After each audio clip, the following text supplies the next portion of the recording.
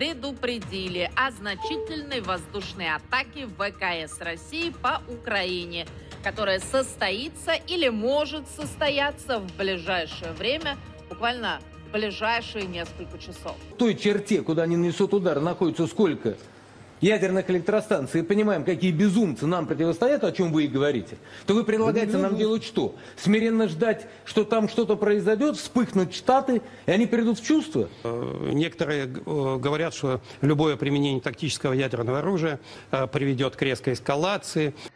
Не думайте об СВО. СВО мы уже выиграли. Кто бы что ни говорил, какие-то там, кто-то разрешил бить вглубь там чем-то. Легла спать и проснулась от того, что кто-то сдавливал мне горло. Голоса в темноте выкрикивали какие-то ужасные оскорбления на корейском языке. Вот дрон летает. Я его вижу, но камера его не видит. Що ж горіло, що вибухало? Сьогодні безпілотники атакували 13-й арсенал ГРАО у Новгородській області поблизу Котова. Оце вже довгу руку ми відростили за ці понад 2,5 роки повномасштабної війни. Це відстань, яку пролетіли наші безпілотники, складає орієнтовно 680 кілометрів від кордону із Україною. І що ж цікавого було на тому 13-му нещасливому для москалів арсеналі? Там зберігаються снаряди для ствольної артилерії, там міни для мінометів, ракети для РСЗВ Град, Смерч, Ураган та ракети Іскандер. Там же знаходяться і каєндерівські ракети, зенітні ракети С-300 та С-400, ну і боєприпаси для комплекту Тор. Чуєте, це ж реально може москалям скоро доведеться буквально стріляти якимось ліпьохами з перегноєм. Вчора атакамес, які потрапили в один е, склад із боєприпасами, сьогодні безпілотники, які дісталися до іншого. Виявляється, що зовсім не важливо, мейден що ця ракета чи дрон, Україна чи Америка. Воно однаково ефективно демілітаризує болота.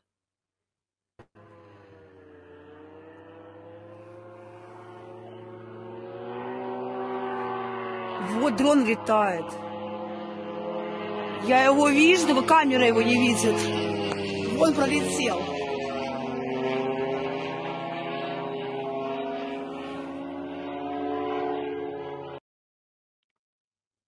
І якщо з цим складом боєприпасів все ясно і очевидно, як божий день, є історії набагато більш замасковані і цікаві. От за що я обожнюю наших військових, так це не тільки за ефективну роботу по нищенню ворога та захист нас та нашої країни, а ще й за почуття гумору. Дивіться, на Білгородщині вчора двічі атакували завод. Ефко туди завітало одразу шість безпілотників. Притому даний завод виробляє майонез та йогурт, а? Який хітко нам вдарити по продуктам харчування. Але це не все. Під оці всі цивільні об'єкти москалі просто маскують воєнну інфраструктуру. Минулого року туди інвестували 40 мільярдів рублів на виробництво безпілотників. Тобто ЕФКО публічно робить харчову продукцію, але насправді також виготовляє грузові дрони, котрі використовує російська армія у воєнних цілях. Тобто майонез після сьогоднішньої ночі розтікся по снарядам та обличчю російським воєнним злочинцям. Так би мовити, жеріть, не обляпайтесь. Завод компании Евка. Ебало. Попал квадрокоптер. Только что. Пиздец. Охуеть. Дожились, блядь. Дожились, та а як все починалося? Київ за три дні, що там з ними воювати? А тепер всі об'єкти є на території Російської Федерації незахищеними. Але найголовніше, друзі, до власне ІПСО. Відставити паніку. В мене за сьогодні вже червоний телефон від запитань: то що там, як там, чому посольства в Києві закриваються? По-перше, відповідь на поверхні і очевидна, бо ворог готується нас обстрілювати. Ну, все літо про це говорили. Ну, ми ж знали, що настануть холоди і повернуться обстріли. Ну, не будьмо наївними, що з ними про щось домовились, вони передумали, чи, не дай Боже, ракети закінчилися. Сьогодні, завтра Але нічого нового в цих обстрілах бути не може. Вони це роблять з першого дня повномасштабної війни. Ціль одна єдина: щоб ми всі здохли. Все. Все інше від лукавого. Немає нових ризиків, не буде нових наслідків. Росія по нам стріляє ледь не кожного дня по різним нашим регіонам. Я це нагадую для тих, в кого, не дай Боже, коротка пам'ять. Давайте краще про хороше. От сьогодні стало відомо, що виявляється, США дали ще й зелене світло на удари вглиб Росії не тільки атакамс, а й ракетами Storm Shadow. Про це повідомляє видання Times. Горить хата, так би мовити, горить сарай. Ось що важливо, ось що нове. Хай нервують, хай переживають, хай палає ворог, а не ми. По горячим следам атак в Госдепе США решили сбросить наконец-то все маски. Спикер ведомства Мэтью Миллер официально подтвердил участие Вашингтона в ударах ракетами «Атакамс» по России. Пресс-секретарь Государственного департамента сообщил, что именно Пентагон выбирает цели для атак своими ракетами по военным объектам, а украинцы лишь нажимают на кнопку «Пуск». Комментируя обновленную ядерную доктрину России, Миллер заявил, что США не станут менять свою ядерную позицию. По его словам, ни Вашингтон, ни НАТО в целом угрозы для России не представляют.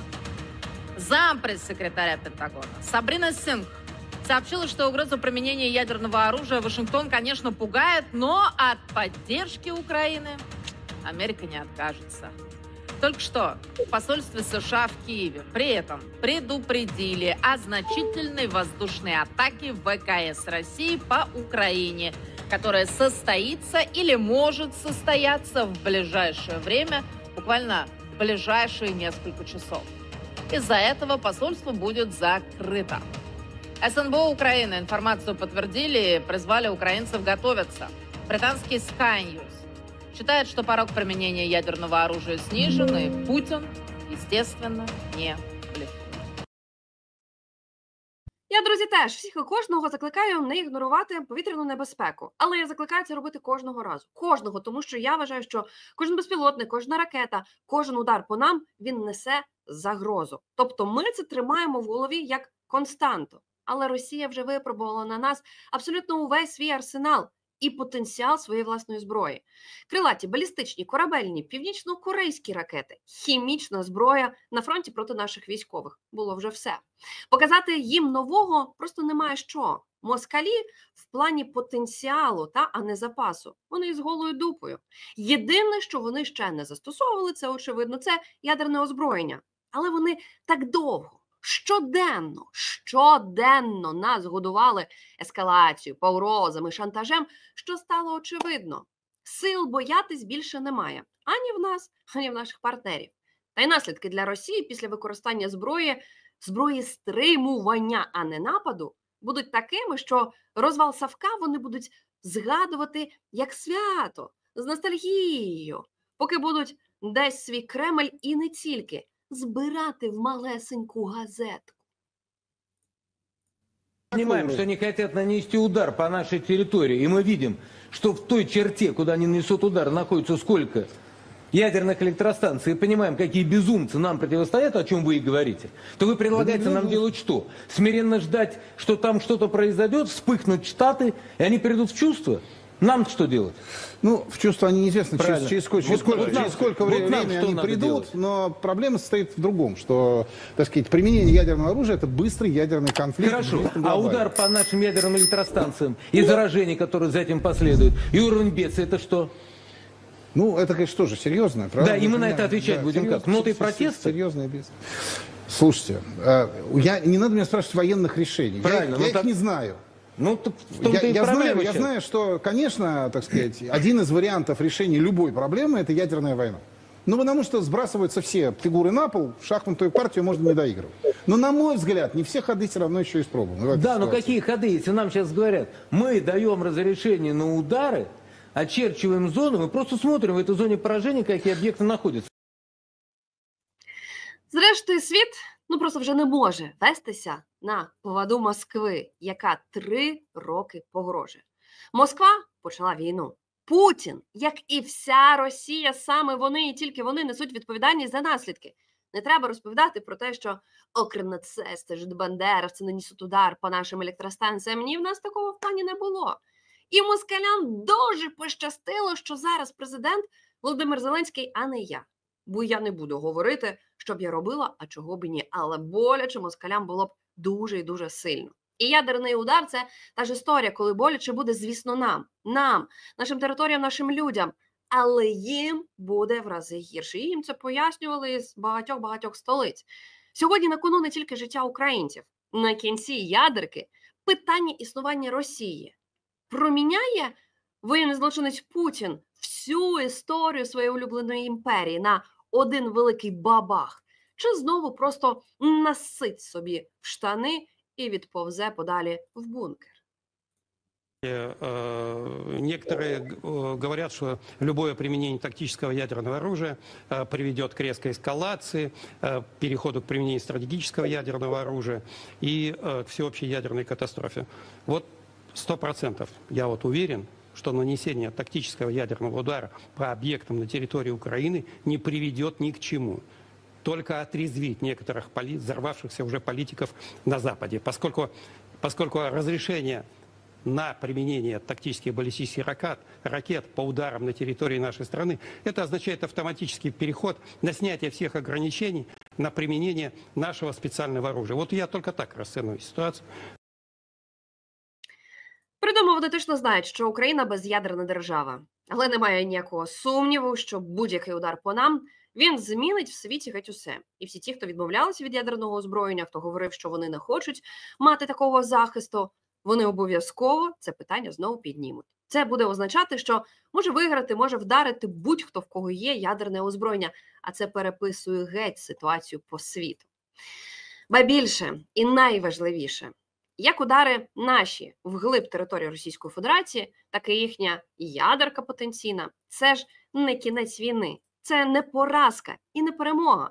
Це взагалі не вирішення нічого. Для нас це спосіб нищити їхню воєнну логістику. Ну банально, щоб російська армія не мала чим наносити по нам удари, удари по нашим військовим, по тиловим регіонам. Ми нищимо їхні запаси. Для них це хіба що відвернути від себе останніх партнерів. Тож нам, нам, всім, всій країні, нашій владі треба сконцентруватися на тому, щоб не просити дозволу, не чекати дозволу вдарити по Росії чи не вдарити. Та ми це не робимо з дронами. А просто бити, бити, бити безкінечно, клепаючи дрони, свої ракети, все, що може дотягнутися до їхніх територій. Одним словом, мати якомога більше зброї, щоб задушити їх не тільки на Курщині, як кажуть самі москалі, що вони там просто потерпають і програють, а щоб скрізь по фронту ці пацюки втікали назад додому на свої болота. находитесь в Курской области. Чем вы сейчас там занимаетесь? Расскажите, пожалуйста. У врага обновление. На совершенно новый уровень вышла работа беспилотников. У них сейчас этих беспилотников как грязи. То в ящиках у них эти беспилотники тысячами лежат. Вот буквально. То есть вопроса, что сэкономить беспилотник, у них в принципе не стоит у их расчетов. Они тратят до пяти беспилотников ударных на одного пехотинца и 15-20 на единицу техники Зато у могут себе позволить. нехватка их. У них международный проект. Беспилотники клепает им весь мир, бабки собирает весь мир. А у нас чего? Волонтеры где-то что-то собрали, купили в дорого в Китае. Чем занимается государство, я промолчу. Я, вы знаете, обнять и плакать – это не то слово. Нужно обмениваться информацией. У них все это налажено в режиме реального времени между подразделениями. А у нас, я в 22 году участвовал, и сейчас мало что изменилось. Сидим, по нам стреляют из посадки. Мы говорим командованию, там противник. Нет, там свои. Проходит неделя. О, оказывается, там противник. Господи, помилуй мою душу грешную. По-перше, особисто мій принцип, який я сповідую, що воювати мають не люди, мають дрони. Ми не можемо собі дозволити не те, що з кількісного виміру воювати м'ясними атаками, а просто з людських критеріїв. Ми про цінність людського життя, про те, щоб зберегти наше військо, наших людей. Хай краще будуть знищені дрони, хай дрони атакують. Це історія номер раз. Ну і звісно, ніхто геть ніхто не задається питанням: а чого ж весь світ встав на бік Збройних сил України, нашої країни, українського суспільства, а Росія лишилася в меншості. Китай, Північна Корея, Іран, Білорусь та, начебто, і все, і то далеко не всі, і не так вже й багато можуть їм допомагати. От я вірю, що цей чорт справді знає, що він говорить про фронт. Але в російській армії є і інші спікери, абсолютні популісти, які настільки далекі від фронту і від ситуації, що розповідати можуть хіба що байки про перемоги. Виявляється, що ситуація для москалів настільки покращилась на фронтах, що військові тепер займаються не війною, а демографією. От тільки в мене одне риторичне питання: якщо Ахмат, Кадирівці, особисто лапці Аолодіна, якщо і прославились, то хіба що ганьбою, то яке потомство вони можуть дати? В тому сенсі, що. Припустимо на запитання, а чому у вас немає дітей, ці буде відповідати: ну, бо що вони просто з дівчиною розминулись десь по дорозі, або чого питання саме до нас, а де інші військові. Я вже мовчу про те, що пліткують за спинами кадирівців, що, наприклад, якщо говорити про стосунки, то вони більше віддають перевагу тваринам, аніж жінкам.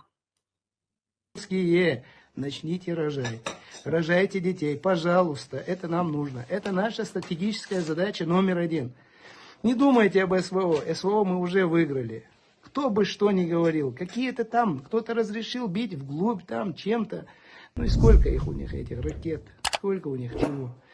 Ничего это не меняет. Самое для нас с вами важное, это сделать все для того, чтобы население нашей страны росло, чтобы демографическая ситуация в стране, она была в разы, как говорится, лучше, угу. тогда у нашего государства будет будущее. А эти, эти, не думайте о этих зайчиках. Я вам даю слово, что бесповоротно Россия в этом СВО уже выиграла. Что бы ни происходило. Так что такие дела. Ахмат сила, Россия мощь, Бог един, Аллаху Акбар. А вот наши гости, красавцы, они вот дали слово, что они исправят ситуацию. Такие дела. А як ви знаєте, лапця Аладдіна можна Аладіна довіряти, бо він же скільки разів говорив: ну, наприклад, що вони зупинять ходу Євгена Пригожина. Сказали, сказали, зупинили. Далі вони сказали, що вони витіснять і викинуть українські збройні сили з території Курської області. Сказали, зробили, ну все, немає ніяких питань. Але що цікаво, першими оце звернення Аптєла Аудінова почув братський північно-корейський народ і прям почав, як сказав Кадирівець, так і робити. Річ тим, що ніхто й не сумнівався, що російські військові найкращі в світі вчителі. Вони все, що знали, все, що вміли, все вклали в своїх братів, північних корейців. Про що я? Ну, перше, на що присіли ліліпути Кіма, я нагадаю, це пляшечка вадяри. Це тепер водка їхній сенс життя. Ну а в перервах між стопками вони, виявляється, вже гвалтують росіянок. Ну і по ділом їм, як то кажуть. Історію від першої особи розповіла викладачка російської мови, яку направили в Курську область вчити корейськомовних хлопчиків якраз російської. А вони, надивившись уперше в житті порно, вирішили реалізувати все побачене на практиці. Дико співчуваю я чесно кажучи, росіянам, адже тут подейкують, що Кім Чен Ін може ще солдатиків направити до Росії, які в боях не прославились, а от на гражданки вже почали кутити, і далі буде більше.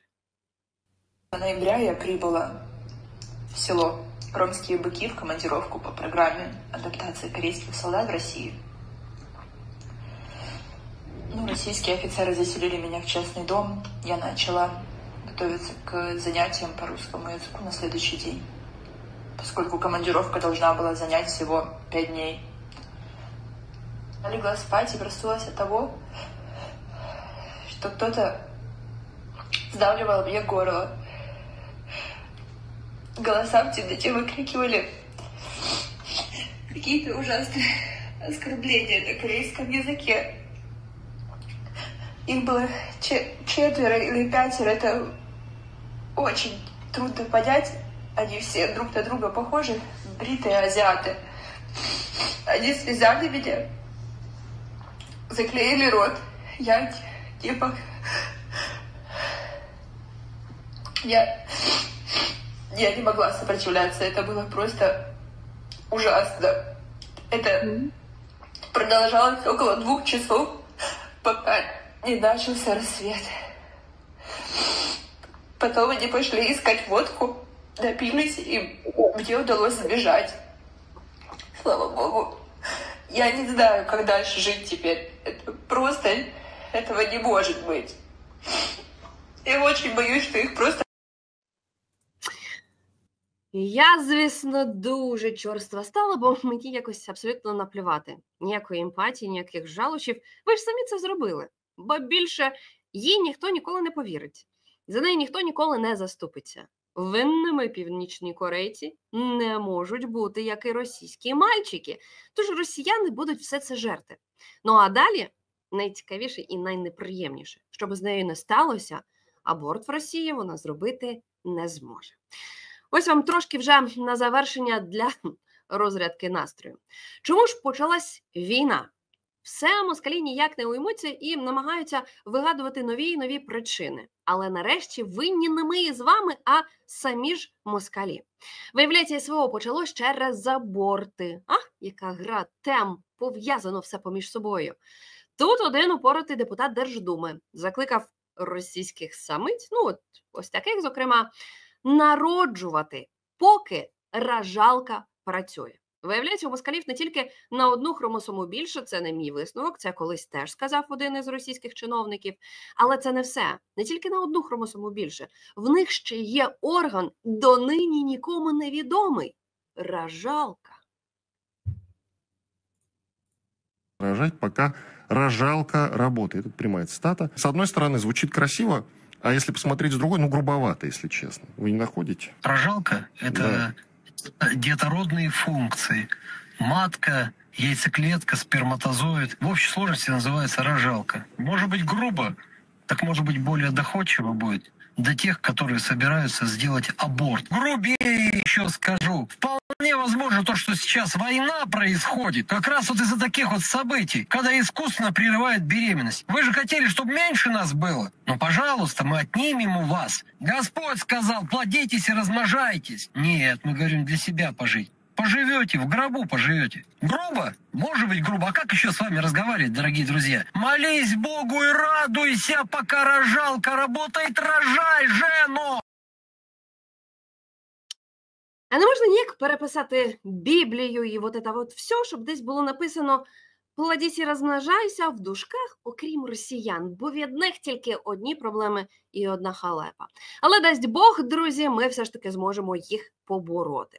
Але для цього треба допомагати нашій армії. Тож не забувайте донатити на Збройні Сили України. Не забувайте про наш збір, який ви можете легко знайти в описі до нашого ефіру.